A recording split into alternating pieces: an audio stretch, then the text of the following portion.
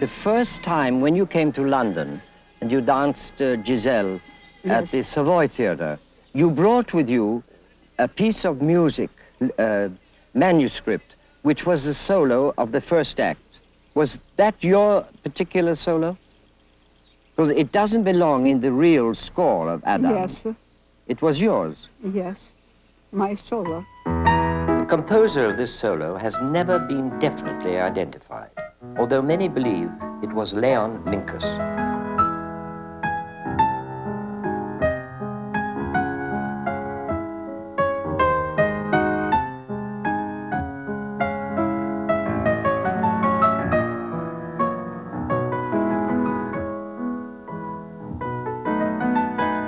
Olga was famous for her perfect technique, especially suited to Giselle.